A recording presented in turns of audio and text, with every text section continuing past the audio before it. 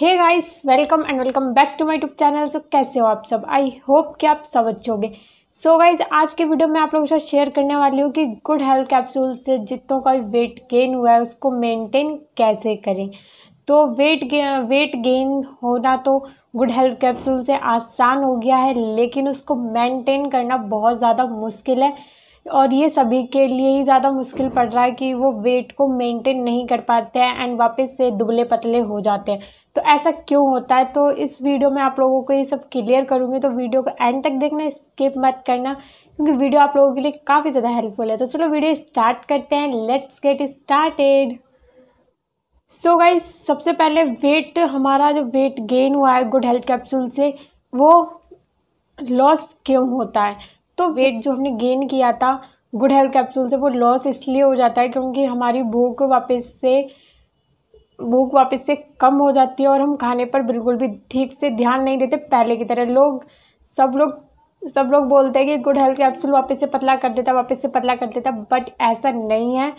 बात यह है कि गुड हेल्थ कैप्सूल से वेट गेन तो होता है, लेकिन हम उस वेट को मेंटेन नहीं करते हैं। उस चीज़ को हम पकड़ के नहीं रखते, उस खा, अगर मैं, देखो किसी चीज़ की हमें आदत पड़ जाती है, वो चीज़ हम लोग करते हैं, चाहे कुछ भी हो जाए। किसी भी चीज़ की अगर किसी भी चीज़ की आदत होती है मेकअप की होती है लड़कियों के अंदर आदत तो वो मेकअप करेंगी ही करेंगी। वैसे अगर आप खाने पर ध्यान देंगे, आप खाने की आदत बना लेंगे और आप एकदम बुक्का टाइप के हो जाएँगे ना तो आपका वेट कभी भी लॉस नहीं होगा।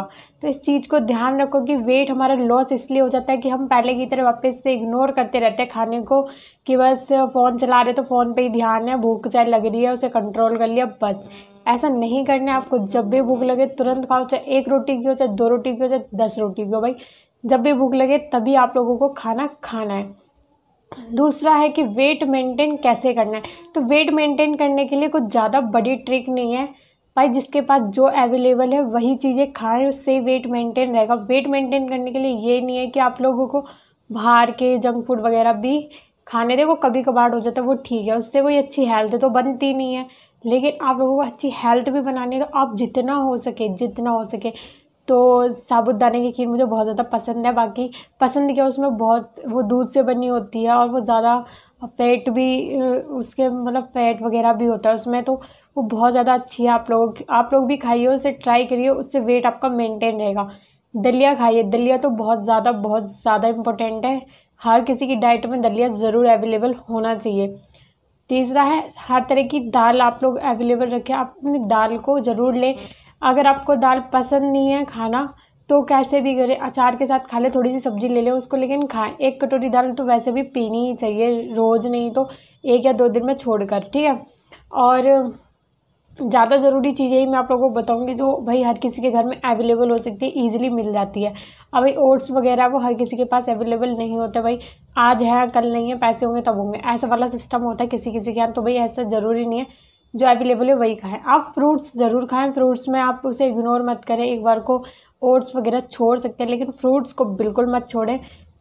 हर कितने के बीस तीस अपने लाइक लेके आओ, बीस तीस रुपये के ले आओ। सेब केला।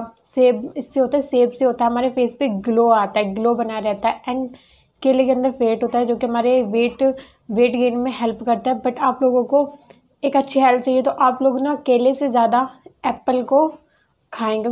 तो जो चीज़ एप्पल होता है, उसमें बहुत एप्पल बहुत ज़्यादा अच्छा होता है, आपके फेस के लिए भी बहुत ज़्यादा अच्छा रहेगा तो आप एप्पल ज़रूर खाएँ फ्रूट ज़रूर खाएँ, और ज़्यादा से ज़्यादा हो सके आप ड्राई फ्रूट्स ले सकते हैं ड्राई फ्रूट में आपको बादाम वगैरह से ज़्यादा आप अच्छा रहेगा, मुनक्का लें। उसे पानी में भिगो के रख देंगे एंड उसके बाद खाएँगे, वो बहुत ज़्यादा बहुत ज़्यादा अच्छा होता है हेल्थ के लिए भी और माइंड के लिए भी। माइंड अच्छे से चलता है, काम जिसका बंद हो, ठीक है? तो यही चीज़ें जो आप लोग खाइए और पिए मैं भी यही चीज़ें खाती तो मैं वही चीज़ें बता रही हूँ। मेरे भाई इतना नहीं है कि भाई मैं हर चीज़ ला के रख, हर चीज़ खा सकूँ या हर चीज़ ला के रख सकूँ। भाई जो चीज़ है हमारे पास, वही चीज़ है, उसे हमें अपने वेट को मेंटेन करना है। और खाने को तो बिल्कुल इग्नोर नहीं करना है, क्योंकि आप ये चीज़ें तो सुबह से या शाम में एक या दो बार ही खा सकते हैं, लेकिन जो खाना होता है वो हमें तीन चार बार खाना ही चाहिए। तीन बार तो ज़रूरी खाना चाहिए। और मैं आप लोगों को बता, दिखा दूँगी नेक्स्ट वीडियो में कि मेरा जो वेट था वो पहले कितना था एंड अभी कितना है वो मैंने बता दिया मेरा फोर्टी वन हो चुका है एंड मैं तो बहुत ज़्यादा हैप्पी हूँ आप लोग बताना कि आप लोगों को कैसा लग रहा है क्योंकि मेरा अभी तक अभी तक का रिकॉर्ड है, बचपन से अभी तक का रिकॉर्ड है कि मेरा फोर्टी वन फोर्टी तो क्रॉस ही नहीं हुआ फोर्टी तो कभी हुआ ही नहीं मेरा वेट तो चलो मैं आप लोगों को ना बस यही कहना चाहती थी कि आप लोग अपना वेट मेंटेन करने के लिए कुछ ज़्यादा ज़्यादा मेहनत नहीं लगती है, ज़्यादा कुछ नहीं लगता। अपने माइंड को सेट करो कि मैं खाना खाना ही है, चाहे कुछ भी हो जाए, चाहे किसी से भी। भाई, किसी से लड़ाई होती है तो लोग खाना छोड़ देते हैं। किसी से थोड़ी सी कोई बात हुई तो खाना छोड़ देते भाई, ऐसा मत करो। दुनिया है, बात करे तो ठीक है, ना करे तो ठीक है। लेकिन खाना मत छोड़ो भाई, किसी के लिए खाना खाओ। जब तक जान है, तब तक जहान है ना? तो चलो आई होप आप लोगों को वीडियो हेल्पफुल लगी होगी। अगर वीडियो हेल्पफुल लगी हो तो वीडियो को एक लाइक कर देना और चैनल को चैनल को पहली बार देख रहे तो जल्दी से चैनल को सब्सक्राइब कर लो। बेल आइकन बटन को हिट करना ताकि वीडियो का नोटिफिकेशन आप लोगों को मिलता रहे। तो मिलती हूँ मैं आप सभी से नेक्स्ट वीडियो में। तब तक सब स्वस्थ रहिए और मस्त रहिए। बाय